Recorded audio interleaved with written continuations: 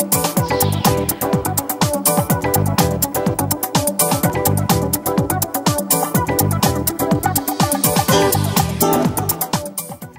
tal? ¿Cómo están? Muy buenas tardes y bienvenidos un día más a Espacio Abierto aquí en Televisión de Ferrol. Bueno, aunque quedan pues unos cuantos meses para las próximas elecciones municipales, eh, ya saben que bueno, algunos partidos están ya preparándose para esa cita electoral, eh, que lógicamente en la comarca de Ferrol también va a ser importante, como en otros municipios del Estado. Y también saben que quizás el panorama político eh, que se dé en ese próximo mes de mayo de 2015 pueda ser diferente al que tenía lugar pues, en aquel año 2011, eh, donde se presentaban una serie de partidos eh, que quizás, como digo, en este próximo año pues, eh, cambie ese panorama por la aparición de nuevas formaciones o por bien eh, también aparición de coaliciones, ¿no? como estamos viendo. Pues bien, en este contexto hoy queremos eh, hablar en espacio abierto porque uno de los eh, partidos que también podría concurrir a las elecciones municipales del próximo año 2015 es Ciudadanos. Muy recientemente, hace escasas semanas se anunciaba la creación de una coordinadora aquí en la comarca de Ferrol, al frente de la cual, de esa coordinadora de ciudadanos, se encuentra nuestra invitada de esta tarde, que no es ni más ni menos que Ana Rodríguez Masafre. Ana, muy buenas tardes y gracias por acompañarnos. Muy buenas tardes, gracias. Bueno, hablaba yo de ese cambio que pueda haber en el panorama político eh, en este próximo mes de, de mayo, en 2015, pero antes de nada nos gustaría conocer, Ana, eh, un poco los motivos que te han llevado pues, a, formar parte eh, de Ciudadanos en la, comarca de Ferrol. ¿no?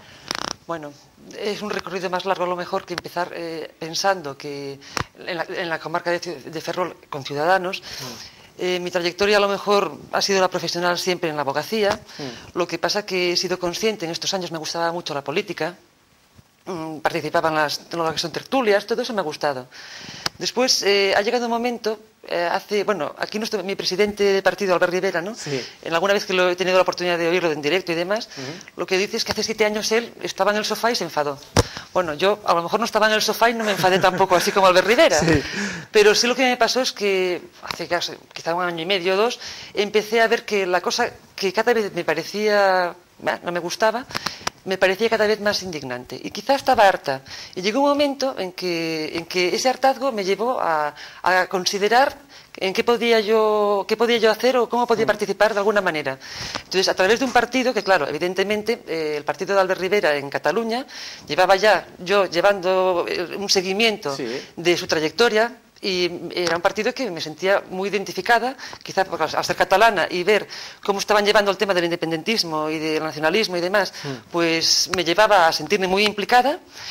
Y cuando hace eso, pues cosa de un año así, empezaron a hablar de la posibilidad de, iniciarse, de continuar su labor, pero en el resto de España, mm. pues yo me sentí comprometida ya rápidamente a afiliarme y a, querer participar mm. eh, de manera directa. Bueno, hablabas, Ana, de que no te gustaba ¿no? lo que veías en el mundo de la política. No sé si no te gustaba lo que veías en la comarca de Ferrol o era en general en el Estado, ¿no? en España. Yo creo que el ciudadano en sí, yo Y, todo el mundo con el que hablo se siente identificado en una cuestión. O sea, la gente estaba cansada y yo también a nivel local, a nivel eh, autonómico y a nivel general, a nivel de, España. O sea, eso del que tú más o yo más y, cada día eh, una política de, de, crecimiento de, más corrupción y demás y que, bueno, en fin, eso llega un momento en que la gente se cansa, la gente ve que, que no puede seguir así, que vamos mal. Bueno, en esa situación, eh, Ana, ¿crees que la gente ha dejado de creer, o no sé si en su mayoría, pero en buena parte en, los políticos eh, actuales? ¿Te preocupa esa situación? A ver, es un problema, mm. efectivamente. O sea, la política y los partidos políticos tienen que existir eh, en una democracia, es que además es el, fundamento de la democracia, ¿no? Pues para, pues para relacionarnos y llevarnos a, gobiernos donde todos podemos participar y demás. En el momento en que se cree, en que la clase política queda denostada por, bueno, por sus problemas de, corrupción y demás, y realmente se llegan a los extremos a los que hemos llegado, efectivamente surge el problema de que haya gente eh, que, quiere romper con todo eso y que efectivamente den de lado a los políticos. Eso no puede ser. La política hay que regenerarla. Entonces, lo que hay que intentar es no romper con todo eso, sino, al contrario, regenerar la vida política. Bueno, en el ámbito eh, de la comarca de Ferrol, eh, Ana, ¿cómo ves esa, situación política? ¿no? Ahora que hablas de regenerar esa. pues exactamente igual. Mm. En el ámbito municipal o autonómico, la regeneración política es fundamental. Tiene que verse, pues, transparencia, eh, tiene que verse que la corrupción, pues, no, no lleva a, gente estar en listas con, pues, con, imputados, por ejemplo, nosotros en Ciudadanos tenemos un, bueno, hemos propuesto, no es que tengamos nada, pero hemos propuesto, ¿no? Desde, desde la, Dirección General, pues un pacto contra la corrupción, en la que se habla pues, de apartar a los políticos eh, que puedan encontrarse afectados por, imputaciones de temas de corrupción política, en las que se habla de tener pues, unos, organismos propios en cada partido eh, en los que se, se, filtre todos esos problemas y, e, e, intentar evitarlo, en el que se modifiquen, se comprometan los partidos que suscriban esos pactos a modificar pues, los tipos del Código Penal para que los partidos hagan responsables civiles también en caso de, existir ese fraude. Bueno, una serie de. Son 12 medidas, son muchas y muy extensas, pero para, eh, para que haya transparencia y para evitar precisamente que se lleguen a los extremos estos, ¿no? de, en que la ciudadanía se encuentre finalmente harta, con un hartazgo tal que, lleven a, desvincularse de la política y ya, ya, ya, ya, nada más estar todo el día pues, pues viendo pues, el panorama nacional que es tristísimo. Bueno, ese es uno de vuestros objetivos, Ana. Eh, ¿Qué otros objetivos tiene Ciudadanos, por lo menos en el ámbito comarcal de Ferrol, ¿no? Bueno, claro, a ver, Ciudadanos eh, da mucha importancia y mucha, bueno, sí, importancia y validez a la participación ciudadana, en todos los puntos de vista y extremos. Evidentemente, la participación ciudadana a nivel local es más sencilla que a nivel autonómico o, nacional. Entonces, esa participación la quiere, eh, a nivel local además, eh, tenemos un programa también electoral creado en el 2011 eh, bueno, una propuesta con una serie de diarios eh, básicos, en los que después, claro, cada, cada, agrupación local y demás deberá hacer su, su su, propio programa. Pero bueno, básicas, unas líneas básicas donde la participación ciudadana es eh, básica. Entonces, ¿en qué? Pues en, en, no solamente a nivel de decir, bueno, me votas durante cuatro años y aquí ya está. No, no, en organismos, estar implicados en organismos a través de asociaciones de vecinos o a través de, incluso de las reuniones vecinales para que el vecino esté implicado y participe pues, en, las, en los planes de planeamiento urbano, en las propias obras, al mismo tiempo cuando se están haciendo a pie de calle. Que todo eso que pueda estar planificado de tal manera, pues para que el ciudadano efectivamente participe de una manera real. No sea una falacia, sino de una manera real. Bueno, y ahora que hablas de participación, Ana, en estos últimos años eh, de la política de Ferrol y, también su entorno, eh, ¿creéis que no está habiendo la participación ciudadana que debería haber? A ver, eh, hubo algún gobierno anterior que efectivamente había impulsado el inicio de mm. participación ciudadana pero yo creo que en estos años ha perdido bastante. Y eso hay que, ya por el ideario del partido, pero incluso además por mi convicción personal, hay que volverlo a reimplantar. La participación ciudadana es vital, porque es la manera de que el ciudadano se implique en las políticas que, se realizan desde el ayuntamiento y se sienta identificado. No siempre nos van a dar la razón. Que, a ver, es muy mm. complicado. Una vez se llega, pues, me imagino, a estar en, el, tener que decidir que todo el mundo te dé la razón, si eso es imposible.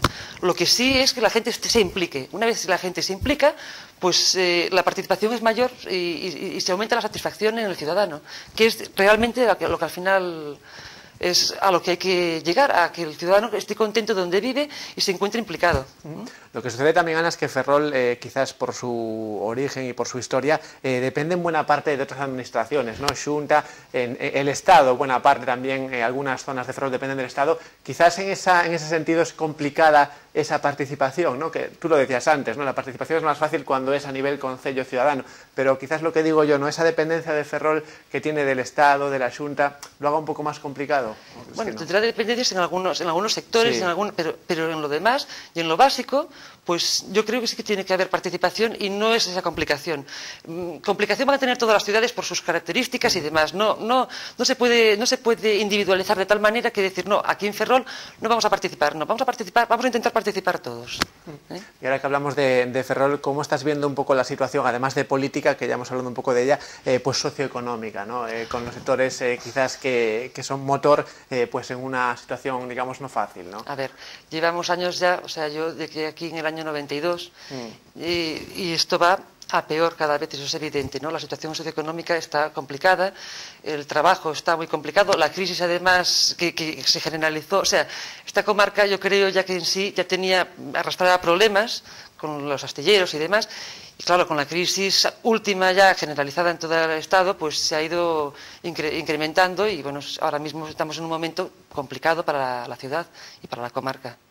Bueno, de hecho los últimos eh, datos del paro que conocíamos hace muy pocos, muy pocos días, bueno, arrojaban que vuelve después de ese verano, que normalmente suele ser eh, una época en la que pues eh, baja el paro por el tema del sector servicios, parece que vuelve a subir, no sé si de una manera preocupante, ¿no? ¿Cómo ves esta, esta evolución del desempleo? A ver, la evolución del desempleo es preocupante, efectivamente a nivel local, eh, efectivamente, las políticas que se pueden hacer, quiero decir, no, se tienen las competencias para, evitar, se pueden paliar en algunas cosas eh, y demás, pero evidentemente es un problema que no solamente a nivel local, sino a nivel comarcal y a nivel nacional. Y es preocupante, efectivamente. Yo, que la economía haya mejorado y demás a nivel nacional y que se empiecen a notar y demás, pues yo aún no lo veo la verdad, pero bueno, claro. El ciudadano de pie yo creo que no está viendo una evolución favorable, por mucho que las cifras macroeconómicas nos digan o nos estén diciendo que efectivamente ha mejorado. Yo de momento eso no, no lo veo. Bueno, hablábamos antes de esta nueva, de esta, aparición, ¿no, Ana, de, Ciudadanos en la comarca de Ferrol. Lógicamente, lleváis muy poquito. Antes de empezar hablábamos de que, bueno, lleváis escasas semanas eh, pues existiendo. ¿Cuál será un poco, Ana, el trabajo vuestro en los próximos meses en este sentido? Pues en los próximos meses lo que vamos a hacer es hablar con las agrupaciones de, vecinos, mm. hablar con las agrupaciones de empresarios, hablar con las fuerzas vivas de la sociedad y que nos expliquen un poco sus problemas, cómo lo ven ellos Ferrol, cómo se podría arreglar Ferrol. Y, con eso, pues, a ver, eh, y con, ya digo, los idearios básicos de, un programa que, ya tenemos desde 2011, pues, realizado por, por, la dirección, pues intentar eh, crear, eh, realizar un, un, programa electoral para, para las locales y, y demás. Bueno, pues eh, importante ese trabajo que va a tener lugar en los próximos eh, meses desde Ciudadanos en la, en la comarca de Ferrol. Hablaba yo al principio, Ana, de que en estas elecciones probablemente los partidos que se presenten sean diferentes, algunos de ellos a los que se presentaron en, en 2011. ¿Cómo ves esa proliferación ¿no? de algunas formaciones que antes pues, no, no existían o no, se, o no concurrían ¿no? a las municipales? A ver, yo la participación de diferentes partidos y demás la veo pues siempre positiva. Que el ciudadano no tenga nada más dos partidos o tres mm. para elegir es que está bien, porque siempre las nuevas ideas y pues favorecen y enriquecen el panorama político. Entonces, en ese sentido, pues eh, veo eh, fenomenal que, surjan nuevos partidos con nuevas ideas. Y, que, y, con nuevas ideas y con nueva sabia y con gente con ganas de, de y de, y de trabajar lo veo muy bien. Muy bien. Hablabas ahora de ese bipartidismo. Eh, no sé si eh, guiándonos por esas últimas elecciones europeas en las que parece que los grandes partidos no obtuvieron el resultado deseado, ¿se puede estar viendo ahí un principio de ruptura de ese bipartidismo? ¿Cómo lo has visto? A ver, yo, la ruptura del bipartidismo, precisamente, o sea, el bipartido, lo que se dice además, ¿no? Es que el bipartidismo, o sea, no puede ser que eh, aquí estemos cuatro años o ocho, no, es que lo tengan pactado, claro que no, pero bueno, está montado de tal manera que cuatro o ocho años y después nos toca a nosotros, y así. Eso no puede ser, porque entonces eh, se crea una manera de gobernar que se gobierna para los partidos y no para el interés general. Es, la opinión de ciudadanos y, entonces en ese sentido el, romper el bipartidismo es lo que puede ayudar a que surjan nuevas ideas, ya digo, nuevos partidos con nuevas ideas y, que estas ideas puedan llegar a, puedan llegar a, desarrollarse y a, convertirse en leyes y en, cambios. Que vea al ciudadano y que, vea efectivamente que eso le está ayudando. Bueno, ahora que hablas de leyes, Ana, y en relación también con el bipartidismo, eh, mucho se está hablando en los últimos tiempos de esa reforma que el Partido Popular quiere, eh, digamos, eh, pues aprobar, esa reforma de la ley electoral antes de que sean estas elecciones del año 2015, esa, esa, reforma que en principio pretendía que con el 40% sea suficiente para gobernar y de esa manera pues evitar en algunos concellos coaliciones, ¿no? que podrían dar lugar a que el alcalde no haya sido el partido más, elegido. ¿Cómo lo ves esa, ese intento? ¿no? Vamos a ver, yo la reforma de, para, que para que pueda ser elegido el alcalde a través de la ciudadanía de una manera más directa, que incluso los concejales, que haya listas abiertas, eh, una serie de, cuestiones eh, es que Ciudadanos además participa de, esas ideas, ¿no? O sea, efectivamente son eh, la manera de que democráticamente, de una manera pues implicando al ciudadano más, se puedan elegir a las personas concretas no es que sea castigar a unas frente a otras, pero bueno, efectivamente el ciudadano podrá elegir, pues me gusta más este que aquel. Eso está bien. La cosa es que yo veo eh, un poco oportunista en este momento, mm. a ocho meses vista, ni eso ya, de, las, de los locales, que con todo este tiempo que ha existido ya para reformarlo, se intente realizar una reforma ahora precipitada, sin la participación de todo el resto de partidos políticos, en que pueda, y, sin un consenso claro, ¿no? porque eso requiere, yo creo, esta ley, un consenso claro de modificación para que la gente, pues efectivamente, todos los partidos puedan opinar y puedan, pues, se pueda decidir algo que, quede, eh, a ver, no se quede bien, pero que, mm. sea consensuado. De esta manera no, no, sé hasta qué punto va a ser poder ser consensuado y no es un momento de hacerlo por una oportunidad o un momento que, en el que a lo mejor se está viendo que si no lo hacen así, pues pierden cuota de poder. Lo que parece claro es que haya ese consenso, ¿no? En principio, ¿no? Claro. El PSOE enseguida se posicionó en contra de, esa, de ese intento, ¿no? De esa, de esa reforma de la ley electoral claro, la reforma de la electoral está bien, pero ya, mm. claro, el problema está en el tiempo. A lo mejor esa reforma, con dos o tres años a la, vista, o sea, a la vista y consensuada, pues es correcta. Así, no digo yo que no vaya a ser, a lo mejor, de lo que sale de ahí, al final, pues resulta que, pues puede ser un tema interesante y, que genere pues, mayor democracia y mayor, bueno, mayor participación al ciudadano, pero en un principio es precipitado. Bueno, y en esta ley también entra esa situación que se da en algunas elecciones de que el porcentaje de participación, ya no digo eh, a quién vaya el voto, sino de participación en las elecciones, pues sea, sea bajo, ¿no? Porque si hablamos de un 40% de una población que ha ido a votar, pues a lo mejor ni la mitad, ahí ya puede haber, eh, digamos, eh, cierta polémica, ¿no? En la legitimidad del partido que sea, que sea elegido. Claro, a ver, el no, el no ir a votar el ciudadano muchas veces ya, a ver, también por el hartazgo, efectivamente, mm. llega un momento que da la espalda a la política y dice, pues yo ya no los voto, total no hacen caso y habría que implicar al ciudadano para que efectivamente eh, eh, participara, es un derecho y, no voy a decir que una obligación, pero que debería de implicarse en, el votar y demás. Claro, la legitimidad, efectivamente, si dejan de, si hay muchos ciudadanos que dan la espalda a eso y se llega a legitimidad. Ya digo, eh, lo que creo que tendría que ser más consensuado. Entonces, a lo mejor es cuestión de, de, más tiempo y no precipitarse para hacer las cosas bien. Mm. Quizás sea eso. Hacer las cosas, intentar hacer las cosas bien.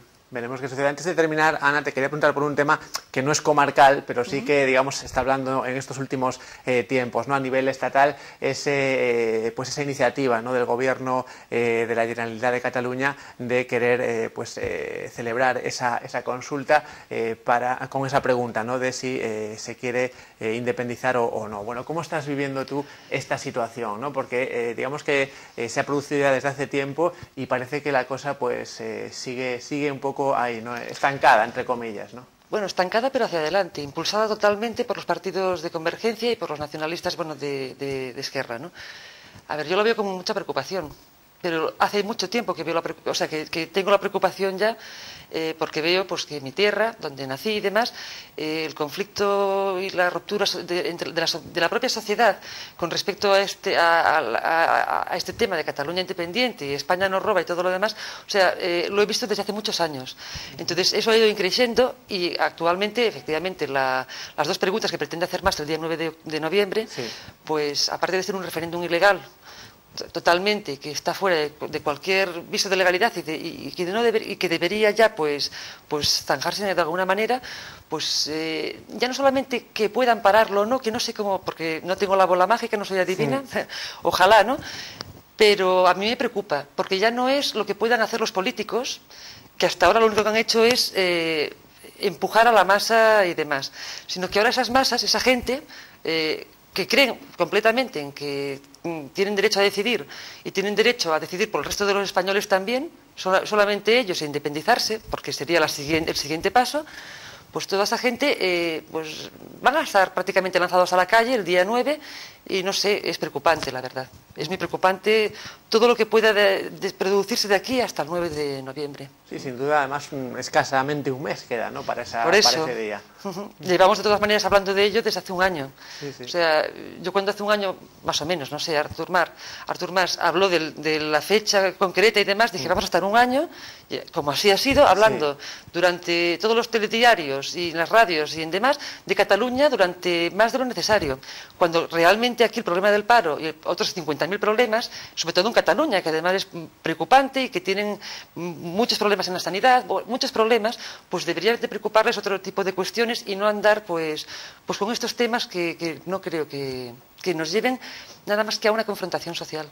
Bueno, pues veremos en qué acaba eso, porque ya decimos que el, final está próximo, el, tiempo es escasamente un mes, eh, pero bueno, también estaremos atentos a lo que Ciudadanos en la comarca de Ferrol eh, lleve a cabo. Bueno, coordinadora de este partido, Ana Rodríguez Masafre, ha sido un placer tenerte aquí esta tarde. El placer ha sido mío, muchas Seguiremos atentos a lo, que, a lo que vayáis haciendo. Gracias. Y a ustedes también, como siempre, gracias. Ya saben que este y otros programas los pueden volver a ver en nuestro canal de televisión a la carta en YouTube. También nos pueden seguir a través de Facebook, ahí publicamos nuestras últimas novedades e incluso en directo también estamos en la web tvferrol.es. Gracias por estar con nosotros, buenas tardes y hasta luego.